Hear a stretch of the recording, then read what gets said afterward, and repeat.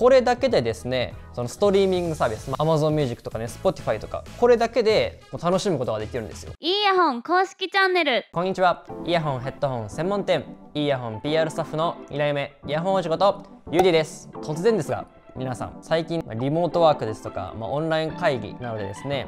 パソコンの前ですとか、まあ、デスクにね座ってる時間多くないですか、まあ、そうするとねこう音楽を聴いたりですとか、まあ、映像コンテンツをね見る機会っていうのが結構ね増えてきたんじゃないかなと思うんですけどもせっかくなら、まあ、いい音で聴いたりですとか、ま、出力の高いねスピーカーですとかヘッドホン鳴らしてみたくなりますよね。アンプを揃えてですとか、まあ、スピーカーを買ってとかってなると、まあ、場所も取りますしできるだけね、まあ、コスパがいいものが欲しいなというふうに思うと思うんですけどもそんな方におすすめしたいのが今回のこちらです。フィオの R7 です。イヤホンウェブ価格でこちらのブラックが11万2200円そしてこちらのホワイトが11万5500円となっております。この製品はですね少し前に発売した製品なんですけどもまあ、今までにないコンセプトの製品で、まあ、発売当初からですねオーディオファンはもちろん、まあ、オーディオにこうあんまりね詳しくないよそんなに興味がないよっていう方の中でも結構ね話題になってる製品ですね。この製品すっごい簡単に言うと、まあ、いろんな機器につなげられるでっかい音楽プレイヤーですね、まあ、こういったものはですね今までにはあんまりなかった製品なんですよね。でじゃあこいつどんな特徴があるの？っていうとですねまず1つ目はオールインワンな Hi-Fi デスクトップデバイスそしてあらゆる機器と接続を想定した豊富な入出力端子。フィーユカスタム仕様の Android10OS と5.0インチディスプレイによる快適なユーザー体験。でね Android 搭載してるって今言ったんですけどもそう Android を搭載してるのでこれだけでですねそのストリーミングサービス Amazon Music とかね Spotify とかこれだけで楽しむことができるんですよ。これの、まあ、機能ですとかそういったものをですねちょっと細かく説明しつつ、まあ、実際にねこういう方法で使うのがいいんじゃないかなっていうようなですね、まあ、提案なんかもねしていこうと思います。付属品の紹介なんですけども、まあ、これに付属品の一覧がきっとね出てると思うんですけどもまあ、その中でも結構ねこれ嬉しいなって思うのがですねスペーサーですね。ここに今ついてるんですけどもこれですね。このスペーサーこれね、えっと、斜面付きっていうものなんですけどもこれがついてることによって格段に操作がしやすいんですよね。そしてデザインについてなんですけども、まあ、まずね思ったのが想像以上にコンパクトだなっていうふうに思いましたね。まデスクに置いていてもそんなにこうかさばらないかなって思いますね。こう形的にオーディオ製品としてはね結構珍しくてこの長細い長方形の形をしてるんですよ。で従来のオーディオ製品って結構ね横に長いものが結構多いんですけども R7 はこう縦長にすることでデスクトップの占有面積を極力減らしながらですね、まあ、多くのアプリケーションを表示できるようになってるみたいですね。デスクトップオーディオをする中では最適な大きさと形なんじゃないかなっていうふうに感じますね、まあ、あとは個人的にこういう形ねこれデスクに置いてあるとねあのテンションが上がるなっていうのは思いましたね。でちょっとボタンとかのね説明もしようかなと思うんですけども。でまずねここについてるのがディスプレイなんですけどもこちらさっきも言った通りですね5.0インチのディスプレイついております。でここが電源兼ボリュームですね。はいこんな感じでボリューム上げられます。でここを押すとこういう風に電源が切れるような仕組みになってます。はい、でここが音声出力モードの切り替えがねこういうふうにできます。ここが6.3のシングルのヘッドホン端子とこっちが4.4のバランスヘッドホン端子ですね、まあ、なんで3.5でつなぎたいっていう方は、まあ、付属品の中にねあの変換アダプターが入っているので6.3で、えっと、つなぐっていう形になりますね。でディスプレイがね5.0インチってことなんですけども今ねこれ自分が持ってるあの iPhone13 と比べてるんですけども iPhone13 が6.1インチ。でこちら5.0インチって感じなんですけども、まあね、5.0インチっていうと、まあ、スマホで言うとね昔の iPhone6 くらいみたいですね。でラップだと同じフィーヨの M15S より少し小さいぐらいかなっていう感じですね。で、えっと、背面を見るとですね、あ、もうねすでにこういろんな機器につなげそうなのがね分かりますよね。でまずですね、まあ、ここが USB3.0 の Type-C そして USB2.0 のタイプ A ですね。でここが RCA ですね。で光の接続があったりですとか LAN がね刺さるんですよ。で LAN が刺さるってことは、まあ、LAN をこう直接挿して有線でインターネットにつなげるってこともできますね。であとはここに SD カードのスロットもあるので、まあ、普通の DAP と一緒ですよね。SD カードを挿して SD カードの中に入っている音楽をこいつで聞くことができるという感じになってますね。でまあ USB ですとか光とか同軸はですねまあ、R7 を外部 DAC と使う場合に主に必要になってきますね。でここの RCA と XLR は、ま、スピーカーですとか、ま、スピーカー用のプリメインアンプとか、ま、パワーアンプとつなぐ時に使いますね。で電源なんですけども電源はですね DC と AC がついてるんですけども AC はですねここですね、ま、AC は付属のですねケーブルをつないで、ま、コンセントに挿すっていう形なんですけども一方でですねこちらの DC はですね 12V3A であれば、ま、外部 DC 電源装置との接続が可能なのでまあ、音質向上のために外部電源を使うことも可能です。でこれ余談というかですね、まあ、こんなことをする人はあんまいないと思うんですけどもあの DC がついているねモバイルバッテリーがまあ一応売ってたりするんですよ。なんであとモバイルバッテリーでつないでこれを持ち運ぶっていうねあのつわものがもしかしたらいるかもしれないですね。でここからはですね実際にこう操作しているところを見せながらこうどんな機能があるのかなっていうのを説明していこうと思います。はいではまずねピュアミュージックモードですね。はいこれはですねフィーヨが開発したですねローカルファイルの高品質な音声再生に特化したモードですね。SD カードをね挿した時なんかはこのピュアミュージックモードで再生するっていうような感じになります。でこのピュアミュージックモードなんですけどもこれはですねフィーオミュージック以外のですねアプリの起動を禁止することで CPU への負荷を下げてメモリーのリソースを確保してより高音質な再生ができるっていうようなものですねで次がですね Android モードですまあもうすでにね、ここに Android は搭載されているんですけども、音楽ストリーミングサービスですとか、まあ様々なサードパーティー製のアプリをこうやってね、楽しむことができます。まあここにね、YouTube とか入ってますし、まあこれ Google プレイとかもあるので、まあ、ここからね普通の Android のスマホと同じように、まあ、アプリをダウンロードしていただくっていうことが可能となっております。で次が AirPlay 受信モードってやつなんですけどもこれですね。iOS のデバイスから受信した音声を、まあ、こいつで高音質で楽しめるっていうものですね。iPhone からこの R7 に飛ばしてもらってこいつでその iPhone の音楽をこいつで再生できるっていうものですね。次が Roon Ready ですね。でこれなんですけども Roon が認証しているネットワークストリーミングで最高レベルの音質とパフォーマンスを発揮できるモードなんですけども Roon 専用のプログラムで独自の伝送プロトコル RAAT を高音質ストリーミング再生が可能となっております。で最大 768kHz の高解像度 PCM サンプルレートなどに対応しているっていうようなモードですね。で次がですね USB DAC モードですね。ま、USB ダックモードはね結構知ってる方も多いんじゃないかなと思うんですけども PC ですとかスマートフォン等のダックとして動作するものですね。なんでこいつ自体で操作するのではなくてこいつを DAC として使ってパソコンですとかスマートフォンの音楽を再生するっていうものですね。次に同軸光デコードモードですね。同軸ですとか光入力端子から入力されたデジタル信号をデコードして再生するっていうものですね。次がですね Bluetooth 受信モードですね。さまざまなデバイスから Bluetooth を受信した音声を高音質で楽しめるっていうものですね。要するにですね Bluetooth レシーバーとして使えるよっていうものですね。これとスマートフォンですとか DAP をつないでもらったらこいつでヘッドホンとかをつなぐとスマートフォンの音楽なんかを楽しめるっていうものですね。最後が Bluetooth 送信モードですね。普通の Bluetooth ですね、まあ、こいつとワイヤレスイヤホンをつないで音楽を聴くっていうものですね。でですねさっきの Bluetooth レシーバーとして使う場合、まあ、Bluetooth 受信モードの時の対応コーデックは SBC、AAC、LDAC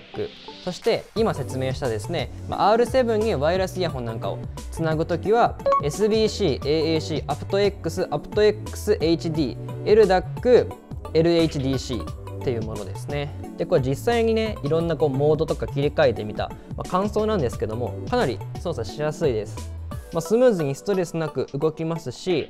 あのさっき言ったですねこのスペーサーですね。ここに角度がついてることによってかなり操作しやすくなってるなっていうふうに思いますね。はいここまでねいろんな機能について紹介してきたんですけども、まあ、気になる音質のレビューのところしていこうと思うんですけどもかなりねパワーが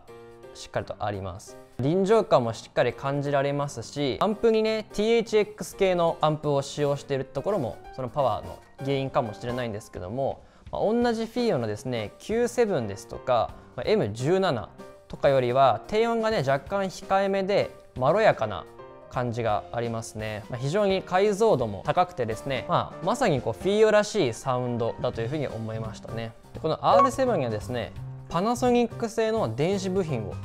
使っていてですね音質のところもそうですしこう信頼性っていうところもね非常にこう高めているようですね。さらにですね ESS が保有する技術を投入することで高品質なサウンドを実現した ES9068AS ダックチップと信号の増幅値に発生する歪みを効果的に補正する技術を備えた PHX-AAA788 プラスアンプ回路を2機搭載されています。特にこの DAC チップのところなんですけども ESS の上位 DAC はですね1チャンネルあたり4機の DAC セクションがあってですね並列動作するのでクワッド DAC となっております。そして今回の ES9068AS はですね2チャンネル構成なんですけども1チャンネルあたり4ダック内蔵なので実質的にですね左右4機ずつの構成となっております。さらにこれでいろんなものとつないだりですとか Android も使えてルーンレディも使えてピュアミュージックモードっていうのもあってこういろんな使い方ができるのに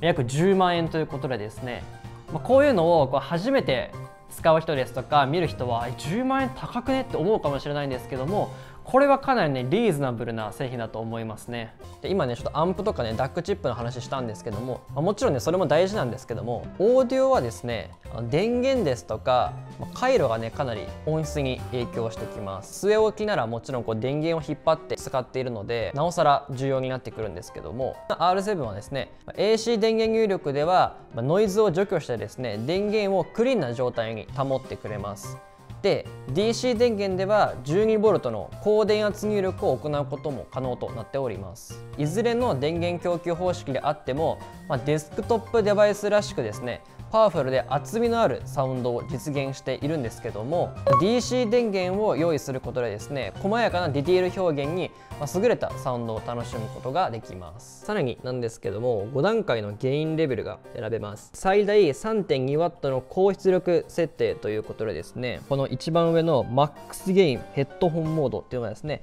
ウルトラハイでスーパーハイでハイじゃミディアムローっていう感じでですねこの5段階のゲインレベルを調節することができます。で、まあ、普通のヘッドホンですとか、まあ、イヤホンはですね、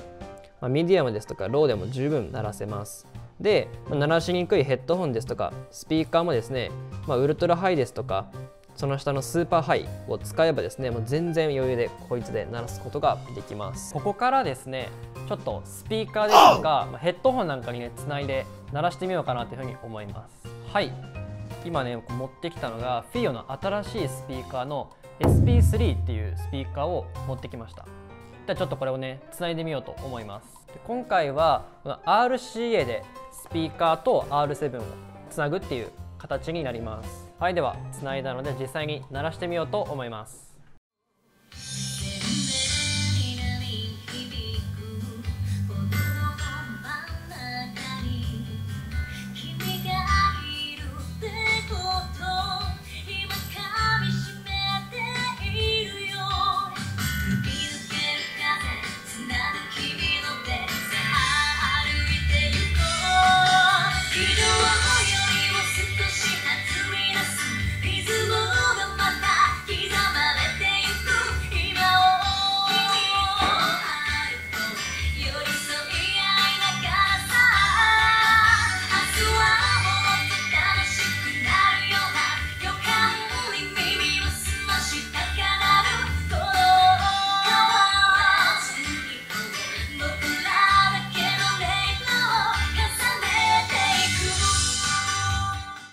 はい今ね聞いてみたんですけれどもまあ、第一印象はねやっぱパワーがすごいなっていうふうに思いましたね、まあ、もちろんこの SP3 自体がパワーがあるスピーカーなのでこの R7 だけのパワーではないんですけれどもしっかりとねパワーを感じることができましたね。注意点なんですけども同じねこういう風にスピーカーを買ってつないでみようかなって思ってる方なんですけどもこの R7 自体がスピーカーアンプを搭載してないです。なので今回の SP3 みたいにですねスピーカー自体にアンプが内蔵している、ま、アクティブスピーカーとかねパワードスピーカーって言うんですけども、まあ、そういったものをつながないと鳴らすことはできないです。はいではヘッドホンもねちょっと接続してみようと思うんですけどもこちらも新しいフィアのヘッドホンの FT3 っていうヘッドホンなんですけどもなんでこれを選んできたかっていうとですね高インピーダンスなヘッドホンなんですよ。350オームっていうことで、まあ、普通のスマホとかではちょっとね鳴らすのは難しいですし結構ねパワーがいるようなヘッドホンになってます。なんですけどもこの R7 でしたら結構ね楽々鳴らせるんじゃないかなと思ったのでちょっと選んでみました。こちらもちょっと自分聞いてみようと思います。